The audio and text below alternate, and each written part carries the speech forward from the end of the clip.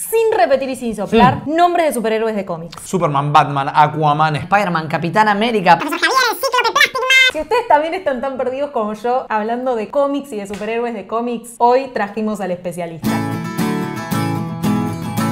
Hola a todos, bienvenidos a un nuevo video de por qué leer esta multiplataforma que promueve el placer por la lectura. Y hoy no estoy sola porque necesitaba un especialista para hablar de cómics y no es más que el señor Ripi Mariano Risa. ¿Cómo estás, Ripi? Bien, Ceci, muchísimas gracias por la intro y por la invitación. Te voy a presentar exclusivamente para que todos entiendan por qué sos el elegido. Para Ok, hablar bien. Primero y principal, Ripi es el conductor de Malditos Nerds, programa que se emite por Vorterix y que hace un montón de contenido relacionado con los videojuegos, la cultura pop y la cultura pop es definitivamente los cómics. Sí, señora. ¿Desde hace cuánto tiempo que lees cómics? Uf, desde que tengo uso de memoria. A veces se le dice el chupete electrónico cuando los nenes chiquitos lo enchufan a la tele para que se distraigan. A mí me daban historietas y de muy chiquito recuerdo sacarle las mafaldas a mi hermano y que se ponía loco. Y no entendía nada absolutamente porque ni, ni sabía leer. O Paturuzú, Isidorito y cosas que hoy quizás ya son un poco más difíciles de conseguir. Pero desde que tengo uso de memoria siempre estuve leyendo cómics. Hay mucha gente como yo, por ejemplo, que creció en una casa donde no estaban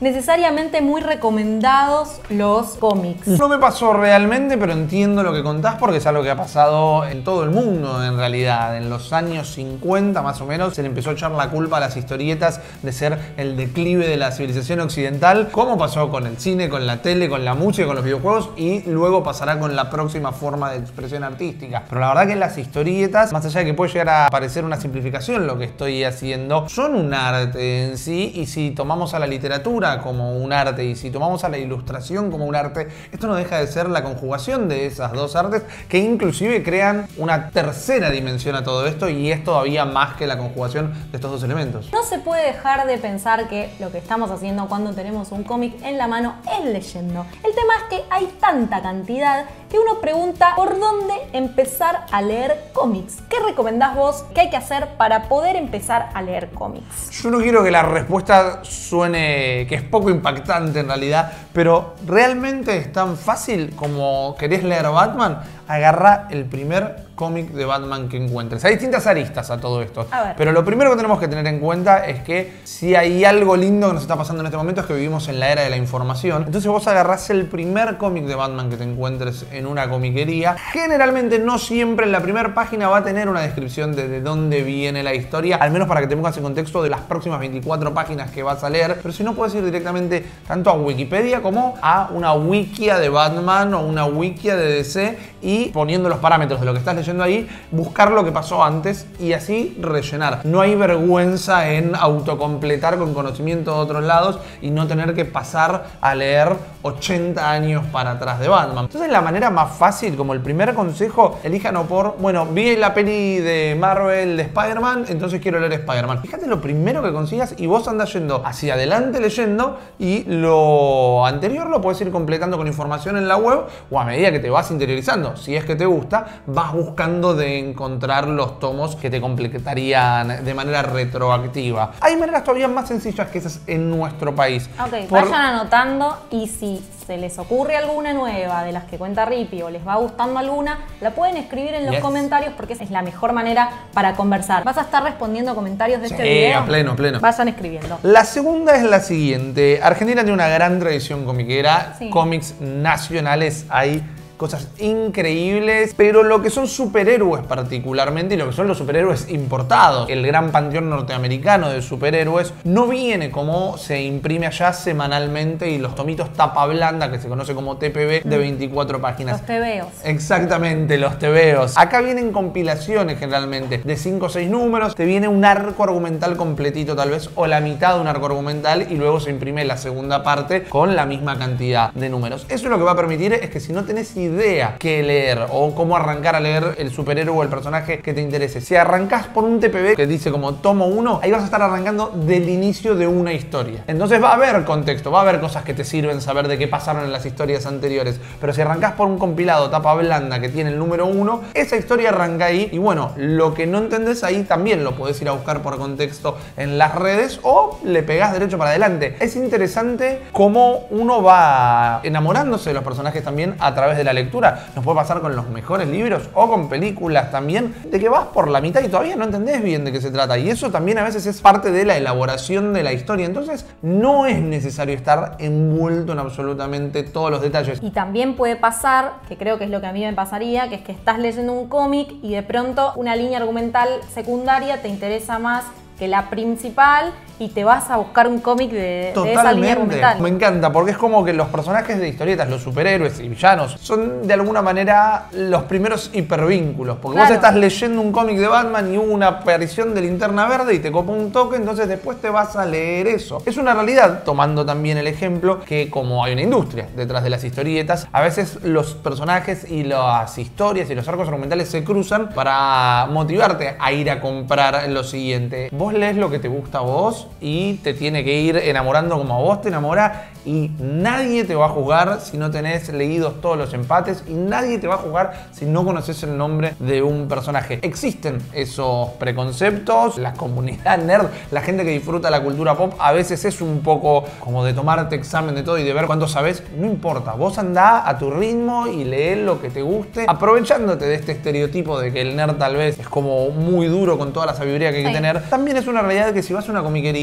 y te le pones a preguntar a quien atiende la comiquería, le va a gustar tanto hablar de cómics que te va a dar toda la información que estés necesitando y quizás terminas yéndote con una pila de cómics así de todo lo que te contó. Así que tampoco hay que tener vergüenza en preguntar. Me encanta que digas eso porque acá en la comunidad de En Por qué leer no me canso de decir que nadie te puede decir lo que tenés que leer. Porque si no se transforma en una tarea. Siempre hay que ir oliendo lo que a vos te puede llegar a gustar y sin temor abandonar lo que no te gusta. Me diste un pie muy interesante. La manera que se hacen las historietas es que la compañía, la editorial, arregla con un artista y con un guionista, para hacerlo simplificado, porque también hay gente que entinta, gente que colorea, gente que maquetea, que es poner las palabras en los globitos de diálogo. Entonces, este arco de Batman lo escribió un autor, lo ilustró un artista que te encantó, pero a los 10 números o más o menos cambiaron de artista o cambiaron de guionista y el estilo de él no te gusta o la historia que está contando no te gusta. Entonces no está mal seguir autores en las historietas como uno lo seguiría en la literatura y sobre todo lo que vos decís que me encantó. Si no te gusta, no te gusta y no estás obligado a seguir forzándote. Regálalo o soltalo, que es una buena forma hoy en día de darle una segunda vida a un libro. Otra cosa que puede ser confusa, más allá de que no me quiero alejar de los autores, es que hay los personajes más populares, nombremos por ejemplo a Batman o a Spider-Man, tienen un montón de historias abiertas al mismo tiempo. Por ejemplo, Batman Ahí ya me explota el pochoclo porque no. Batman está publicado en Batman, en Detective Comics. Detective Comics era la tira que cuando la terminan comprando DC termina tomando el nombre y es la línea más policial o las historias más detectivescas de Batman y también las historias un tanto más paralelas, mientras que en el cómic homónimo se maneja más el canon. No significa que lo otro no sea canon, es decir, que no pertenece a ese universo como una realidad, pero son historias que van pasando en paralelo. Y así Batman tiene cuatro o cinco números, Superman tiene dos en este momento, si no me equivoco, Spider-Man tiene tres. En Los Hombres X, en Marvel, están haciendo algo muy interesante, que es que están siendo publicados en dos tiras distintas y que tenés que leer una y una, una y una, una y una. Eso, una vez más, lo que está buscando es que compres más historietas. A veces los cómics en la última página traen un orden de lectura,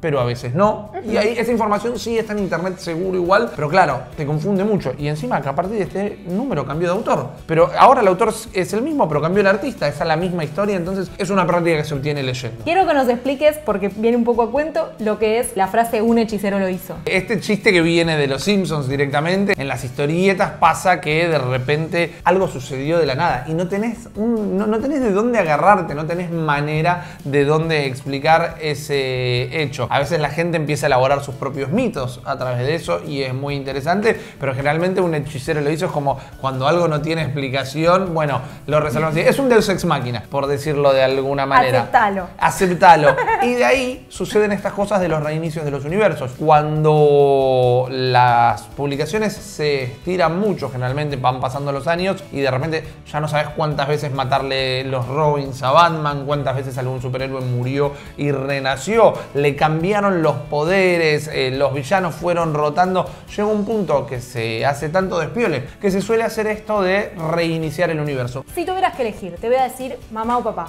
Oh, no, Tu imposible. superhéroe favorito? Mi superhéroe favorito es Aquaman. Sufro muchas gastadas por todo eso, sufro mucho bullying. Aquaman es medio como un hazme reír por unos cortos animados que hacía Cartoon Network que eran Aquaman y sus amigos, que tomaba imágenes de la serie de los 80, de los super amigos de los 70, perdón, y lo mostraban cabalgando el caballito de mar y todas esas cosas, y queda medio como un goma. Es una realidad. Pero cuando vos lees el cómic de Aquaman, por ejemplo, es algo muchísimo más parecido a Game of Thrones, con un tinte un tanto medievalesco, sucede todo en el reino del Atlantis, bajo el mar, algo que no se suele comentar porque Aquaman no tiene esos poderes, pero es un reino eh, no solo que tiene la mejor tecnología del mundo, sino que tiene muchísima magia. Está buenísimo que gracias al cine y gracias a divulgadores de cómics como lo es el señor Mariano Riza Ripi, más gente llegue a los cómics. Este video se va terminando, pero ustedes se preguntarán por qué tenemos todo este material aquí. Bueno, todo este material es para la segunda parte de este video que muy pronto se va a publicar en el canal. Te voy a pedir, Ripi, que me hables del primer